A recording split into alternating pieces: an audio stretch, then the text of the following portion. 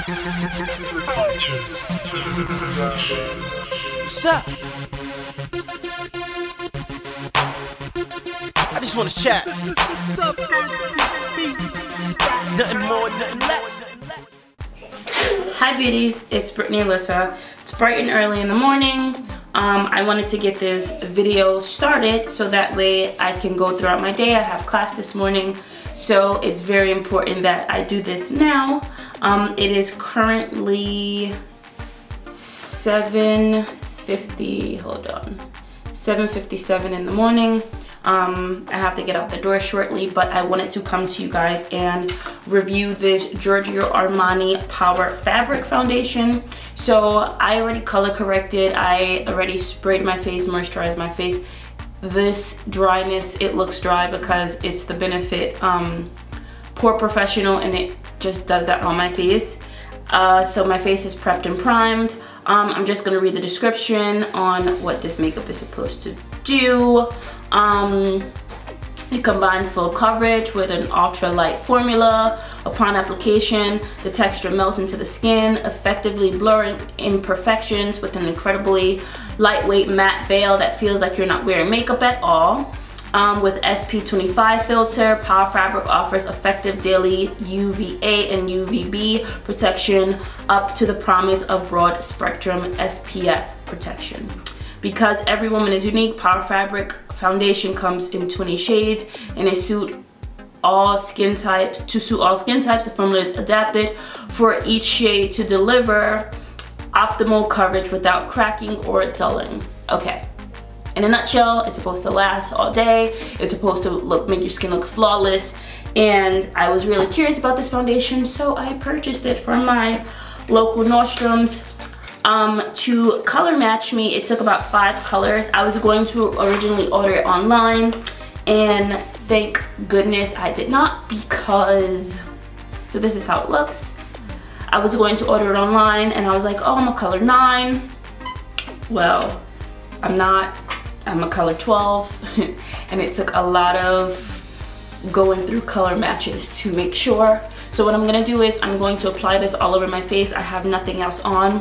I'm then going to cut the video, come back with all my face applied, and then let you guys know how it feels on. And then when I come back home from class later on, I'm going to then give you guys my final review. So jumping right into it, it has a pump. I am in the color 12. Um, in the store, it looked a little red, but again, the other colors really, really, really didn't work for me. So I'm going to put this amount on my beauty blender and that should be enough to cover my entire face. Holy shit balls. I think I applied way too much. I think I applied way too much. But we're gonna roll with it.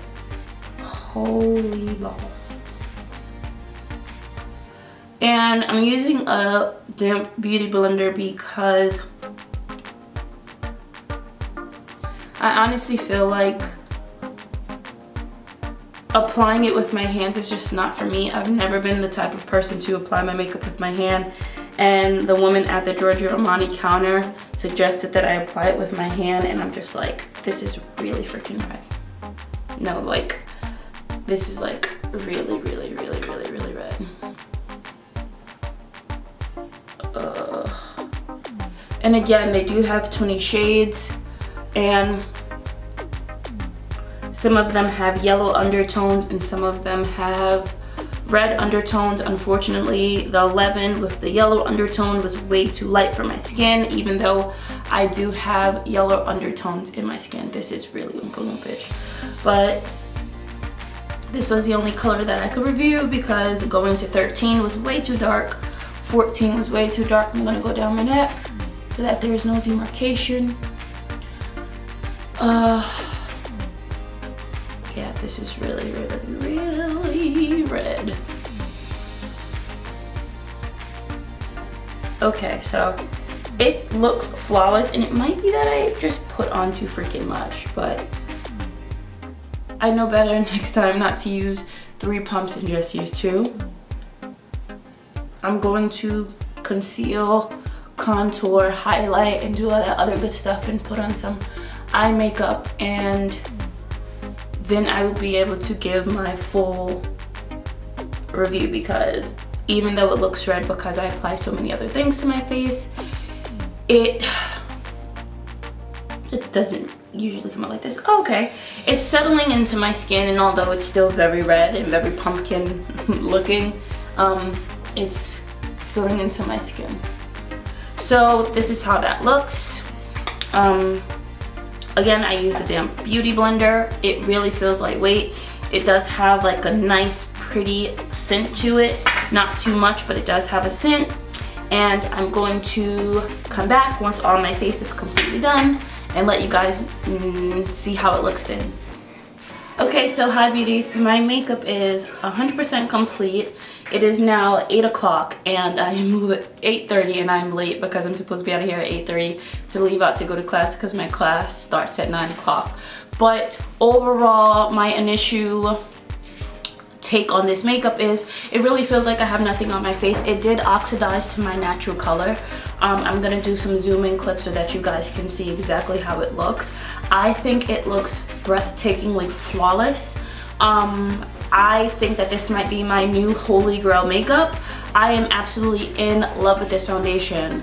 Um, I'm going to wear it throughout the day. I'm going to see if by the end of the day I still love it as much as I do now at 8.30. I will keep you guys posted and updated. Um, but for now, I think this makeup is flawless. I think it looks really good. I think it blends in beautifully in my skin. Initially, it was very red, but I think after I applied everything else on my face, it really looks great. So I will let you guys know what I think about this product later on. So for now, I love it. Let's see if I love it six hours from now. Okay, so it is now 3 o'clock and I've had this makeup on since 8 o'clock? 8, yeah, 8 o'clock. Um, I'm doing a check-in.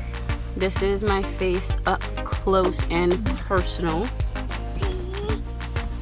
You can start seeing my discoloration peeking through. Um, I haven't put anything on my face. I haven't um, blotted it. I haven't put any powder to it.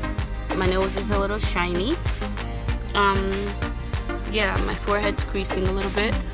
But besides that, I think that it looks really good still. Like here in natural light because I had the visor down. Here in the natural light, it doesn't look horrible. Besides my nose being a little bit shinier than it should be, I think it looks good. I'm gonna do my final check-in when I get home lake is in the back. Um, so yeah, I'll do my final check-in once I get home. But right now, this is how it looks. Okay, beauties, I am back. It is 6, it is, okay, iPhone, 6.46 um, in the evening. I've had this makeup on since 8 o'clock this morning. Um, I checked in a few hours ago and this is my final check-in. I am going to wash this makeup off my face so my final thoughts on the product are, as you can see, I am oily as hell. All up in here, up in my T-zone, in my chin.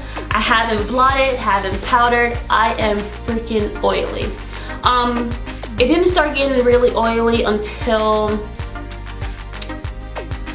a few hours ago. It started getting oily and then this is the final thoughts.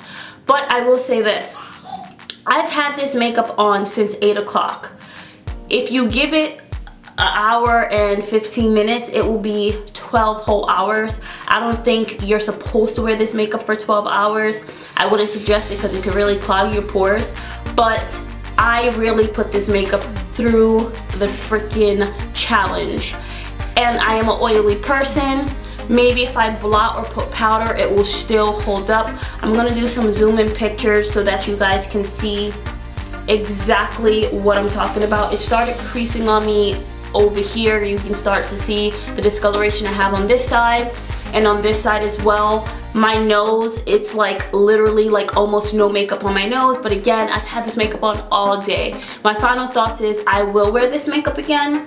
I just don't know if I'll wear it for the time that I have the makeup on, um, but today was a hectic day. I had classes, I had to go shopping, um, so I was literally out of the house all day. I literally just walked through the door and sat down to record this before I forgot and washed this stuff off. It's a really good makeup. I did not feel like I had anything on up until maybe an hour and a half ago. It started feeling really cakey and gross and I need to take this shit off. So those are my final thoughts on the Giorgio Armani Power Fabric um, makeup and I hope that you guys enjoyed this video. Again, I do recommend going out. It does have a heavy price tag. It's not transfer proof like I literally got makeup all over the place. Uh, what else? Yeah, it's not transfer proof. It does get oily. It does crease up a little bit. But again, I have had this makeup on all freaking day.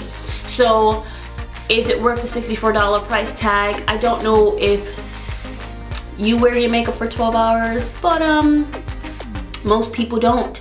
So if you're gonna wear it for 12 hours, don't go out and buy it. If you think you'll wear it for four hours or you're going to like an event, it's perfect for that. It looked flawless. I'm gonna post pictures of how it looked and how it photographed. My makeup has looked flawless all freaking day up until a few hours ago and now I'm just oily. But it's even though it's oily, it doesn't look horrible, it's just really shiny. So again, those are my final thoughts. Don't forget to rate, comment, and subscribe to my channel. Leave comments down below of what you think I should review next. I'm gonna do more videos like this. Thumbs it up if you guys enjoyed this video. And I'm going to get ready for bed. As you can hear Lake in the background playing with Donnell.